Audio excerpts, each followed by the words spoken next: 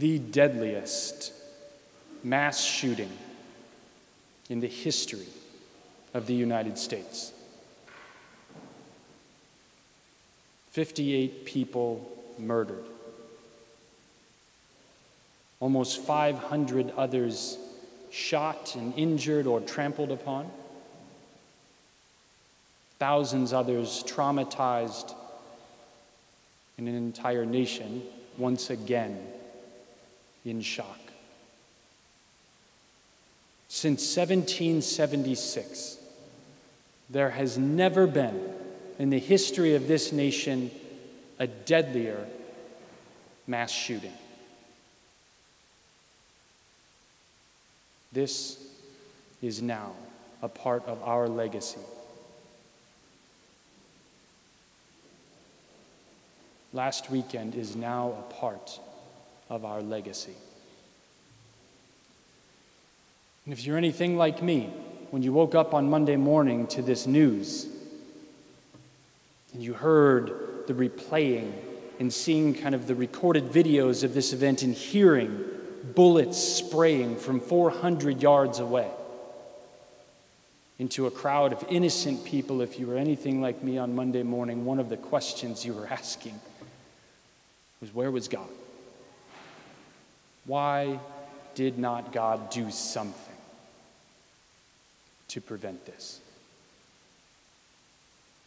Couldn't He have intervened?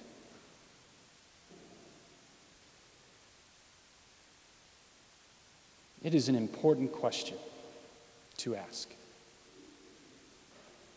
And it's equally important that we listen to the answer to that question. Because this also has to do with our legacy. Guys, God has done something. God did do something.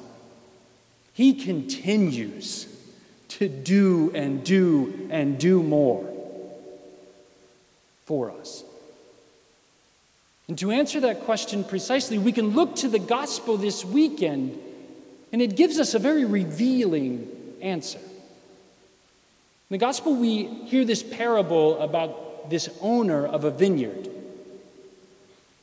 who left on a trip and leased his vineyard to some tenants to produce and give over that fruit at the proper time. And so when the vineyard owner sends his servants what do the tenants do? They kill the servants. And the vineyard owner doesn't stop, he sends even more servants to help. And what do they do? They kill those servants. And the vineyard owner then says to himself, I will send my son because, well, they'll respect him. He's my son. And so he sends his son. And what do they do? They kill the son. And our Lord has done the same for us, all of us. He continues to send us help. He continues to send intervention. But how? First, each of us has been sent a guardian angel. In fact, this past Monday, we celebrated the feast of our guardian angels. And this isn't just some fairy tale that we tell children when they are scared. This is a truth that is well founded in Scripture that we have guardian angels assigned to each of us. In fact, in the Catechism, paragraph 336, it has this to say about guardian angels From its beginning until death, human life is surrounded by their watchful care and intercession. Beside each believer stands an angel as protector and shepherd, leading him to eternal life. Each of us has been sent a servant of God, a guardian angel, to protect us not necessarily from earthly harm, but to protect us for eternity to watch over and shepherd us for eternal life, the most important life, the life that we all hope to live, the life that we try to live right now. He has sent us angels. At our conception, He sends us and makes us with a conscience. He sends us angels and He sends us and creates us with a conscience. And our catechism has this to say about conscience. Deep within his conscience, man discovers a law which he has not laid upon himself, but which he must obey. Its voice ever calling him to love and to do what is good and to avoid evil sounds in his heart at the right moment. For man has in his heart a law inscribed by God. His conscience is man's most secret core and sanctuary. There he is alone with God, whose voice echoes in his depths. There's two things our catechism tells us about conscience that God sends us with our conscience. First, is that the law of God is written in us. This is not some kind of external law or statute written on a city or state or federal ordinance. This is a law that is literally a part of our DNA. It is written in us, Thou shalt not kill. We don't need a law outside of us to tell us this. God made us with this law.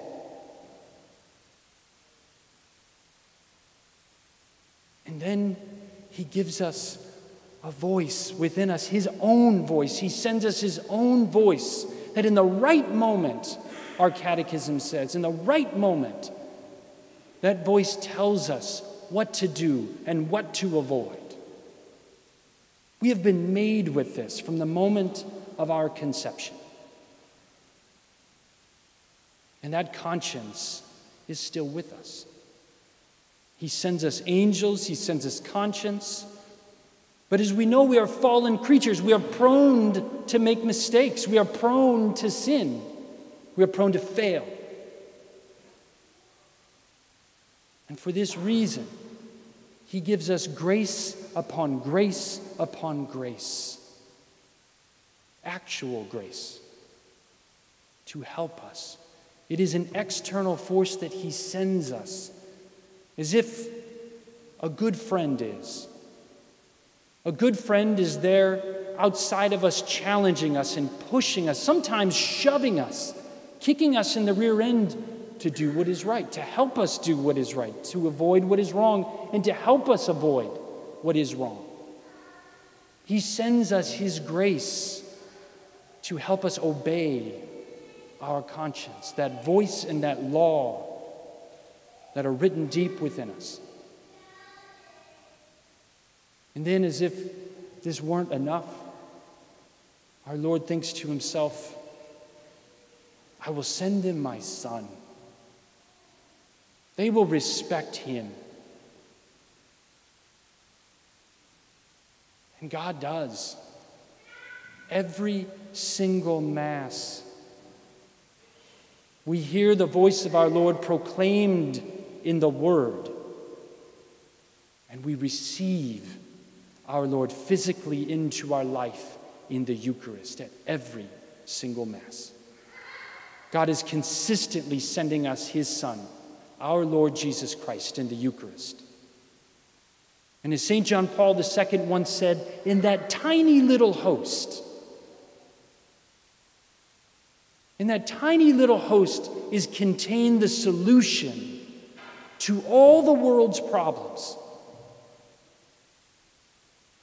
That tiny little host that is unconditional love, that is unconditional mercy, that is sacrifice, that is divinity in the midst of humanity, that is divinity overtaking humanity and becoming and uniting itself to us in that tiny little host is the solution to all the world's problems. This is what our God does. This is his intervention that he sends every single person that he has ever created. He sends them an angel to guard and protect them for eternal life. He sends them a conscience in which our Lord speaks to us. He sends them grace upon grace in aid and help to push us in the right direction. And He sends us His Son, guys. He sends us Jesus Christ. And we are left, every one of us, to make the same decision that the tenants make in today's gospel. We are left with that same choice. We're left with the same choice of the Stephen Paddocks of the world who decide to commit murder. We can either reject and ignore our guardian angels. We can kill our consciences, as the tenants do. We can kill and not respond to grace. And we can outright reject our Lord and Savior, Jesus Christ. Or we can acknowledge with gratitude that we are surrounded, surrounded by angelic beings watching, guiding, and protecting us for eternal life. We can listen to our well formed consciences. We can hear and understand and know the law of God because it's not something we have to go out and read about, it's written into us. And we can listen to that voice of God as it speaks to us about that law in the right moment. We can respond to grace in that help, just as we respond and listen to good friends and those that truly care for us. And we can actually set out to live as His Son lives. It's a good question to ask. What could God have done? How could He have intervened? But maybe a better question to ask on this Sunday is what more could God have done? What more, really, could He have sent to us that He has not already given to us over and over and over again?